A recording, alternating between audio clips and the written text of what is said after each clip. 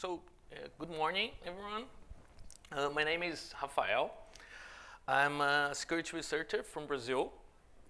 I would like to thank you uh, of the thank the organizers of this event to having me. I'm so grateful to it and every one of you guys for taking time to come and enjoy my presentation. Uh, as you know, I here to talking about uh, how an APM environment can help us to improve security.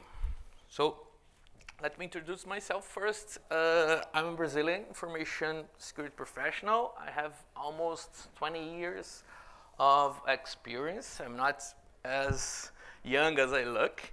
And by the way, I'm getting older today. Today is my birthday, and uh, it's a. Uh, thank you, thank you very much. Thank you very much. It's a, uh, really glad about to be here with you guys celebrating it. Uh, my research in all of those years were about auditing penetration tests and incident response. I'm a huge fan of OWASP. I used to contribute like translating and uh, presenting uh, talks, but uh, every uh, every talk I did it's on Brazil. It's my first time uh, presenting in English, so I, am a little bit nervous, but I, I think it's gonna, I hope it's gonna be all right. So, hope you'll enjoy the ride. So, first of all, a little bit of context about the research. Uh, we know that besides the, the all controls uh, implemented, it's critical to keep a closer look into application behavior. So we're going to talk about how you can analyze behavior of the application and take some security insights from them. and uh, the, the, the, the, main goal is to fix problem before they, they cause significant damage. So uh, I think there's an important point, it's observability. Observability is the key to, to accelerate detection and response of security issues. It's the, the main goal of the, uh, of the presentation. Uh, and we also know that it's important to security teams to interact with other teams like uh, uh development, business, architecture, and so on. And we're going to talk about that, how, how to use the same tool. For example, the, the APM is for performance monitoring, is kind of tool for developing guys, but how can use it, how can enjoy forces using it for security purposes. uh, and we also know that uh, it's important to, to that uh, security department's budget is uh, often a competing priority with other area for business. So if you can share a tool you can share the budget and make it more affordable for the company as a whole. Uh, this research, in this research I used uh, six APM tools and apply it in real scenarios. Uh, I spent many times in center of operation of security and monitoring. But however, no names and no brands will be disclosed, okay? Uh, if you need more details about research, feel free to contact me after this presentation. I'll let my contact information with you guys. Uh, just checking how many people in the audience use an APM tool. Raise your hands, please. Okay. Uh, how many use an APM tool for security purpose? Or just to performance, just for developing stuff? Okay, great. So, uh, just an overview about APM. It stands for, uh, as you know, Application Performance Monitoring. Uh, it's the practice of monitoring the performance of applications, collecting data such as response time, error rates, resource usage. All this data can be used to identify and troubleshoot uh, problems, performance problems as well, uh, as well to optimize application performance. But uh, why, why it's uh, important? Why is APM important? Uh, it's part to improve customer satisfaction because uh, when the, the applications are performing well, users are more likely to be satisfied with the experience. and it can lead to increased customer loyalty, engagement, and revenue. So it's a pretty cool stuff for business to make an APM in place so as it can improve the customer satisfaction. Uh, it's important to reduce uh, costs. It helps you to identify an optimized uh, resource and performance problems that is decreasing the revenue or decreasing the, the ex user experience and uh, the, the cloud cost and many of costs you have in your infrastructure. Uh, and finally, it's important to improve security with the right data, sources, it's very helpful to identify injections attempts, security misconfiguration, vulnerable and outdated uh, components, authentication failures, and data, uh, data exfiltration, and many other security risks. Uh, it's a powerful mechanism to reduce the mean time to detect and the mean time to repair technical issues in your application as well as security issues. And how does it work? Uh, typically work by collecting data from a variety of sources, such as application logs, uh, like incoming requests, outgoing response, errors, and etc.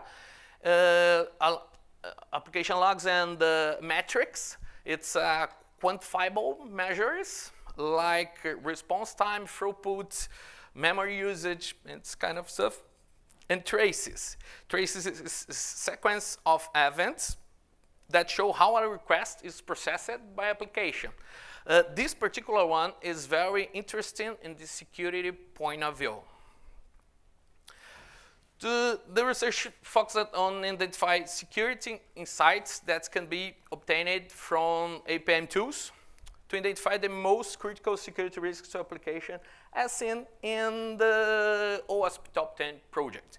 So for each critical risk, we're to check some insights that's possible to obtain from uh, APM tool. No. Uh, starting with the, the, sorry, starting with the broken access control, uh, an APM tool can detect session hijacking attacks by monitoring the sessions that are active on your, on your application. If detects a session uh, that's being used for an unusual location or device, this may indicate a session hijacking attack. there is some uh, piece of information that is important to take a look. Uh, suspect modification of session information. The, there is, remember about the tracy stuff? The sequence of events. If the sequence uh, change, you have to, to it's important to have uh, a model. So this is my expected behavior of my, my business transactions. And if it's uh, unusual behavior, you have to fire a, a, a, an alert this kind of starts your response uh, so if not, the attacker is trying to, to bypass uh, access control checks, uh, control checks uh, by uh, tampering and modifying parameters, you can detect it by checking the, data, the database behavior.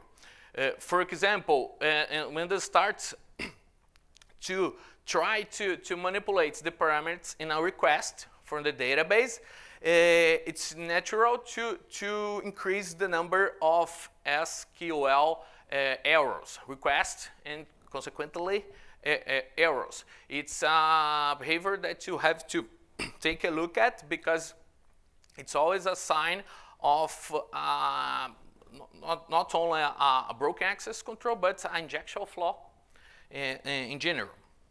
Uh, not, not expected uh, operations. In an APM tool, it's uh, common to take a look in every operations that the dat database is running. And once again, you have to, ha to have a, a, model of what the operation is expected. And uh, if the server starts an unexpected operation, it's kind of trigger for a, a, an alert and to response process.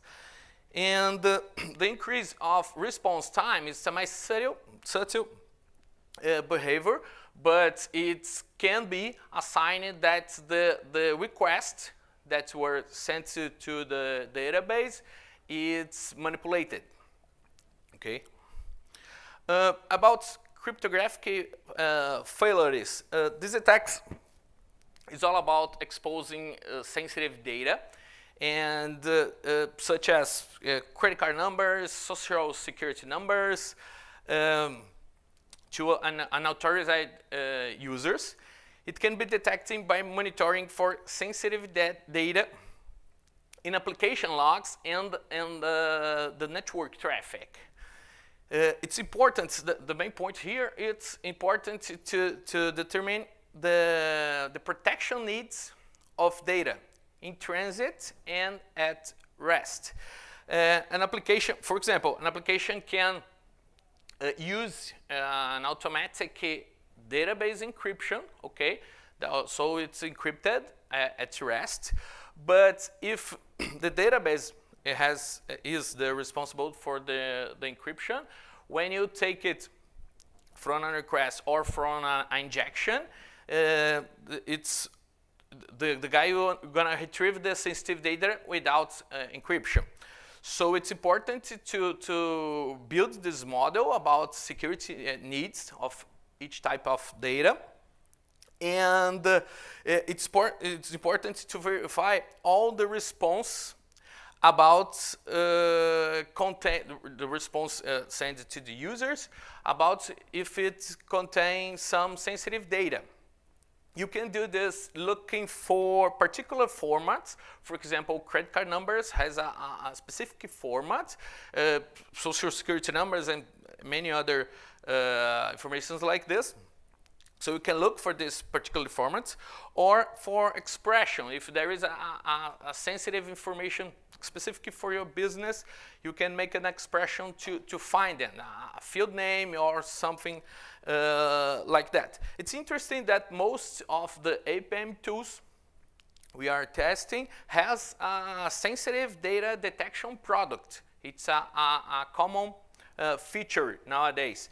Uh, that's exactly because this kind of trouble. Uh, but the main point here is about to map the protection needs as each type of data you have. Injection. Uh, if there is a, a, sudden increase in the number of SQL errors, uh, this may indicate an injection attack because it's a typical behavior of parameters tampering attacks. Uh, APM tool can be used to, to, list all the specific queries running the server. If the command is not expected, this may indicate an injection attack. You can trace the execution command of the individual commands uh, to identify the specific request that is causing the problem. So that's the main point about uh, Tracy. It's important to, to security because we talk about behavior. Uh, it's possible to, it can be used to list, uh, to list the queries and you have to compare it with the queries that you expected to be running. And monitoring the response are being, uh, that, that, are being sent to users. If you detect response that contain malicious code, this means catch an XSS attack. Uh, about insecure, uh, insecure design, uh, sometimes all the controls, all the security uh, implementations are in place, but there are some insecure business process. It's about it's more about the logic of your uh, uh application. And for example, an e-commerce application where you can block some items, put in the cart or put in the, the, the bag, uh, for a period without uh, effectively pay for them. So the attacker can abuse abuse it and block all items on your portfolio. It's not there is no security control for that, technically speaking, but it's a, a, a model business that you have to, to prevent. So it's very important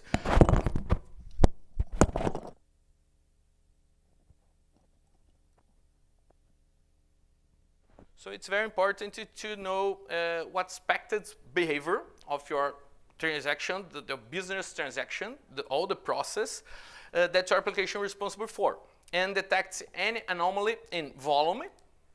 It's uh, easy to, to see in the metrics analyzing, and the parameters and attributes, and you can, as you can see in the logs analysis and the tracing analysis. About security misconfiguration. Uh, it can be very useful to identify service. It's an interesting point because it's another uh, not so common utility utility for all, from the APM tools. You can use the tracing and the, the logs and the, the network traffic analysis to detect services that you don't know that's in production. Prediction. Uh, if you analyze all the unexpected requests or error message, you can find someone accessing objects that you don't even know that is published. Uh, for example, uh, a sample page that you use, um, admin page that's, that's in place, you don't know how about, and uh, when you analyze all the requests and the error message, you can identify them. Most of times, unnecessary services are not protected. Uh, same thing here about service that you don't know that's in production. The, if, if you are not protected, it's uh, important to identify them because they, they must be vulnerable. And after, uh, so you can use it to map all your application service that you don't know that's published, but it's also to compare all the objects that you find uh, with, uh, with uh, to correlate with a CVE, to a vulnerability database, so as you can check if you are running uh, some insecure software. Uh, let's see that you there is another uh, ways to detect if it's vulnerable. For example, a scan, a testing, but we're talking about how can use APM tools to do this. So it is can join force with the, the development guy, the production guy. Uh, identification and authentication failures. It's all about uh, volume and uh, content of the, the, the requests. It's uh, most of time that the, there is a, a, sudden spike in traffic can be a sign of an attack. And if just volume in uh, authentication uh, system, authentication page, it's most of time it's gonna be a, a, brute force uh, attack. And the parameters you can use, the, there is a, some Intel information that we use. It's to monitoring uh, data leaks uh, from the uh, bases of passwords and usernames. And uh, since the, the, the, this, user, this, this username was leaked, we put it in a blacklist. So if you ever, uh, anyone is trying to use the username, it is tagged like a, a malicious content because it was the bad guys doing. The, give, take all these lists and use it in a brute force attack. Uh, another point in uh, authentication failures is about to abuse, uh, to explore some vulnerability in the recovery password process. So uh, it's about metrics again, and if you detect a spike in the volume of the requests to recovery or forgot the, the password process, it's going to be someone trying to, to abuse it. Uh, software and data integrity failures is the, the, the number eight. It's important to allow only expected and scheduled updated uh, activities. And uh, it's always check sources and contents of these updates. We detected from network traffic originated in the production environment. If your production environment is requesting from some uh, suspected repositories or with some suspect uh, expressions in the content of the, the, the, the request, it must be a malicious uh, update. So you keep an eye on it. Uh, security logging and monitoring failures. Uh, all the insights here were taken from metrics, traces, and logs obtained from the application. So if you, for some reason, the application stopped to register, register those information, we are totally blind. So that's the, the importance of security logging monitoring failure. And besides that, it's important to check if the application sends sensitive information for logs. It's nowadays with the, the mainly uh, of the, the, the privacy laws, it's important to check if your application is not writing uh, sensitive information in application logs of, uh, uh and if it is uh, in, a, in a request, in parameters, there's sensitive information that's going to be logging in the, the, the, the, the request log. so it could be a privacy uh, infraction. And the, the server-side uh, request forgery, uh, if the application is fetch a remote resource, it's important to validate if the request is not tampering by user. It's a pretty similar to the malicious updates. We, you are looking for the behavior of the, the production environment and if there is some some unusual uh, internal activity, internal traffic, like a, a, port scan, like some requests that's not uh, uh, expected. It's, it's, it's, important to check if one of these requests is using user-supplied information for make this request. That's the, uh, the SSRF uh, is totally about.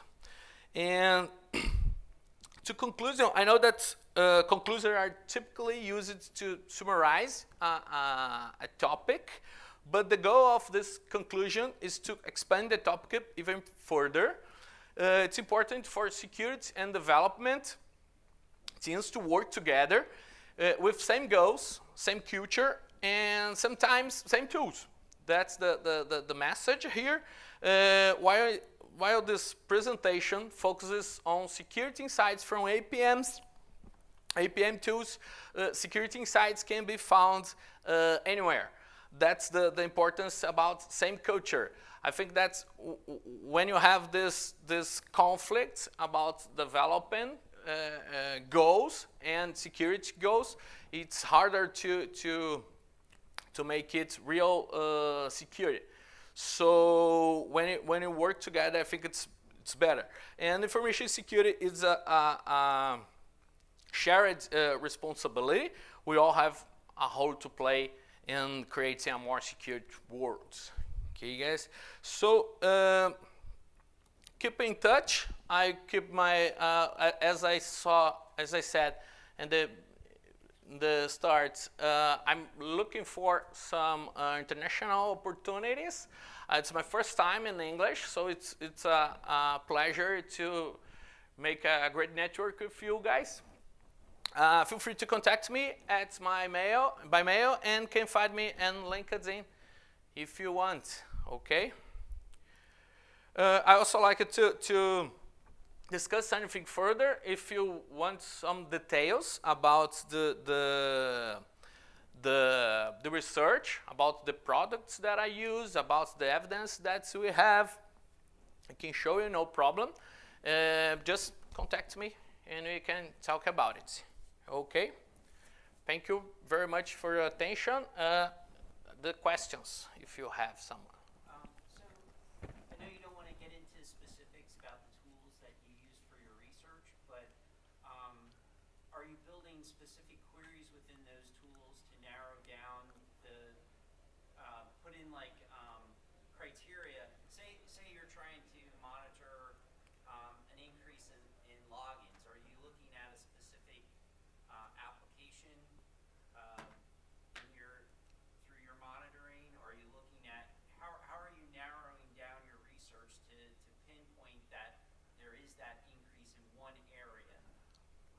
how can I say that the, this increase is suspect or not? Is that that the point?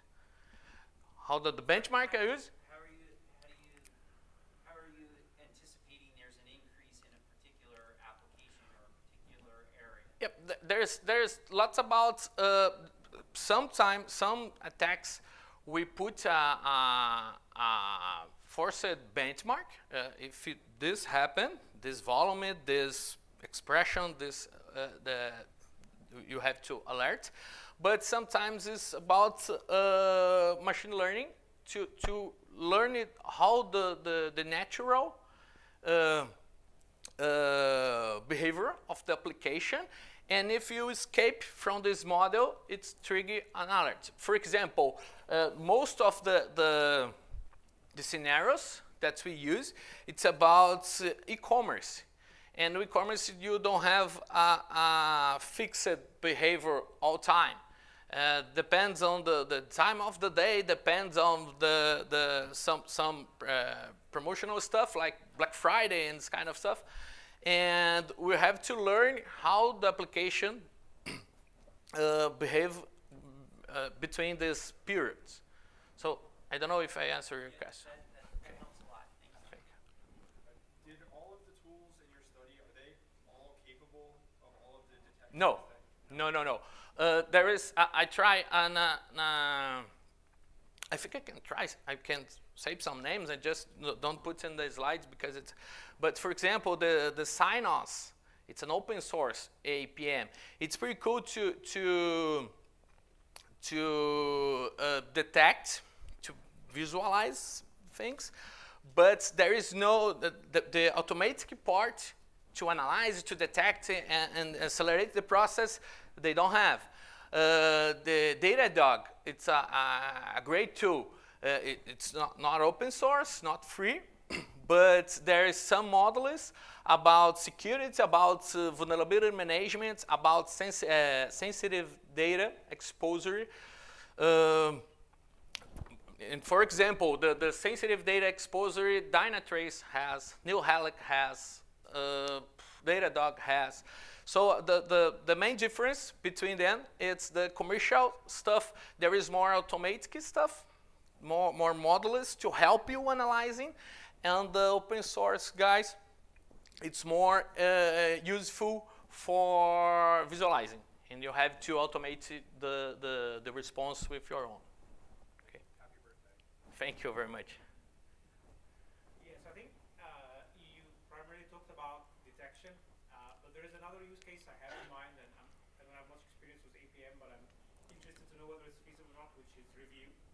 So I think you mentioned that you can see like the stack traces of, of different codes. So let's say we have application with multiple routes, and let's say I want to find which routes are actually calling the database, or which routes are calling another internal API to maybe focus on these ones and review them because they are maybe the more dangerous one, or even like kind of know have a list of dangerous things, so they're uh, like dangerous functions in the stack trace that shouldn't be called or needs review and so on. Is, is that a feasible use case? Can I use an APM to know or to select which routes, for example, are more risky? Yeah, totally. Because uh, uh, the, I think a, a, a interesting point the, uh, about the, the motivation of this uh, research, as I said, I, I used to, to work with uh, uh, uh, security analyst in a, a, a center of operation of security, and sometimes the the the, the company doesn't have a security tool like a SIEM and kind of stuff, and sometimes uh, the, the interesting point is sometimes we have a, a security scope we test it, we check it, and when they go on, on production, the, the, the attack is in another place that I said, oh, I don't know, where is it? No- Nobody told me. And when, when we keep an eye on the, the performance monitoring behavior that's happened, it's easier to find it in place, and it's easier to find some blind spots. So, uh, I don't know if the, the, there is a, a, a about your, your, your question, but uh, the, the, the same way you can y- used to find these blind spots. It's find to to it's used to find the natural or behavior. So, for example, how can I say that the most uh, this period is most probably to happen uh, an attack in this application? It's from monitoring performance, even the the the past, the history about that. I answered the question. or- Yeah. Thank you.